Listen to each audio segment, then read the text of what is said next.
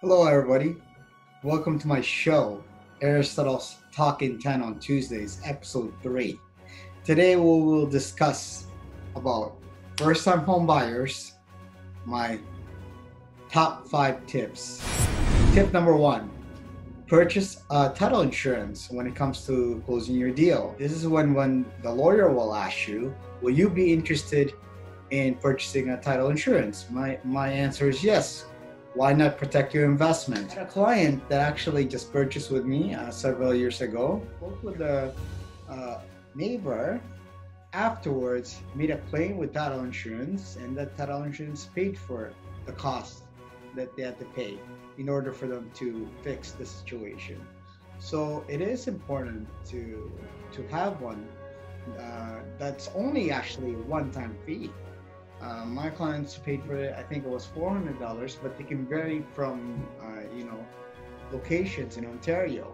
Uh, their minimum, I think it was between two hundred and fifty to four hundred dollars for title insurance. So that's my number one tip for the day: purchase title insurance. Tip number two for first-time home buyers.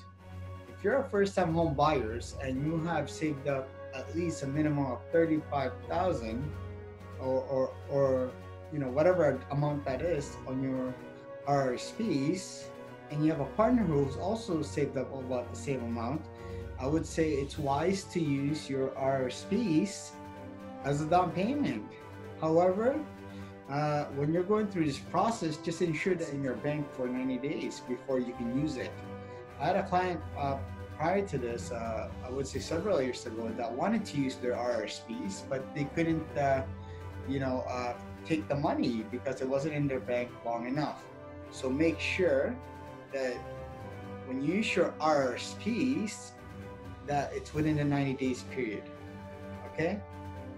That's tip number two. Use your RSPs. Tip number three, when it comes to uh, the process of waiting to move into your home uh, before the closing period, my suggestion is don't shop around yet. Don't apply for new credit cards or anything like that because it is important to take care of your, your credit during the time of preparation to closing the deal. A client uh, before that actually told me a story about one of their friends who wasn't warned by by the realtor regarding this started purchasing uh, furnitures bought a new car as well.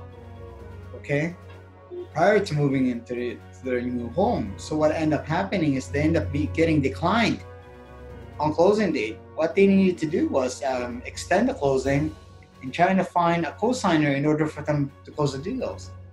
I don't want this to happen to you guys. Again, when it comes to the closing time, is tip number three is that don't spend any money. Save your money until closing, and once the, the, the, title have been transferred to your name, then you can buy any furniture you want. It's tip number three. Tip number four save enough money for closing. Uh, you know, I have heard of horrible stories where the the first time home buyer wasn't aware about the closing costs uh, you know, and uh, they end up closing the deal and not having enough fun. So they have to actually find people that they know that would lend them the money in order for to, to close the deal. So again, uh, tip number four: I want you to save enough money for closing, and what that is, is be- between 1.5% to 2% of the cost of the purchase price of the home. So what does that entail? Okay it, it actually you could be paying for an appraisal from the bank okay? The lawyer's fee that's the reason why it's important to talk to your lawyer prior to closing. Moving fee when you're moving you might be hiring some people. When it comes to moving uh, storage it could be um, a lot a lot of things like that for closing. So it all depends on on the the buyer right? So it's important to save up enough money for your closing. Okay, that's between 1.5% to 2% of the purchase price. Okay. Tip number five.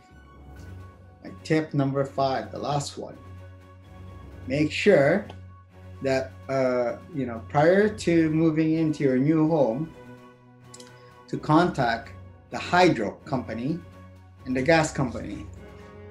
I have heard stories in the past, or even have read stories uh, from other realtors that, you know, the the buyer moves into the house, and this is winter time too, right? It happened during winter time when this happened. You move in, they contact their their realtor, and and then the buyer goes, "How come my light's not working? How come it's so cold in the house?" What the buyers did not understand is that the realtor forgot to advise them to make sure to contact the companies, the utility companies such as you know the hydro and the gas, to transfer the name to them.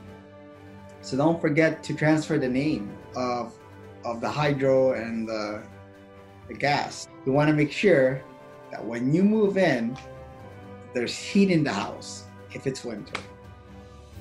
That the electricities are all working. This is my top five tips for the day. Thank you for watching.